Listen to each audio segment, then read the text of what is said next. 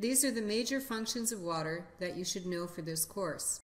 First, water is considered a universal solvent. The polar nature of water allows it to dissolve many substances, especially other polar compounds. This allows water to transport these dissolved molecules throughout the body. Secondly, water has a high heat of evaporation. This property allows water to help maintain body temperature despite external conditions. If we get too hot, the higher energy molecules evaporate off of our skin, leaving the lower energy molecules behind, thereby cooling the body in a process called evaporative cooling. Many of the biochemical reactions in the body that undergo hydrolysis, that is, the breakdown of molecules in the presence of water, require water as a substrate for the chemical reaction to occur. Water also provides lubrication in various parts of the body to aid in movement, such as in the joints, the eyes to aid in blinking. Just imagine trying to blink with dry eyes.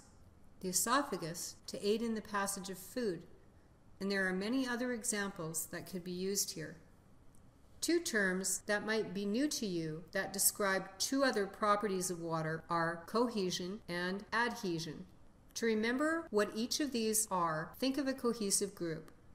If I were to ask you what is meant by a cohesive group, you would probably say a group of people that work well together.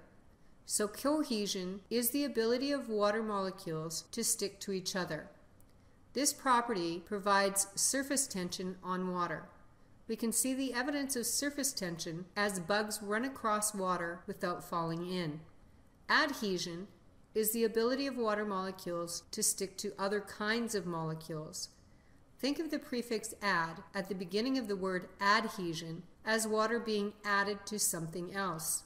This ability allows water to stick to other surfaces, such as the walls of blood vessels.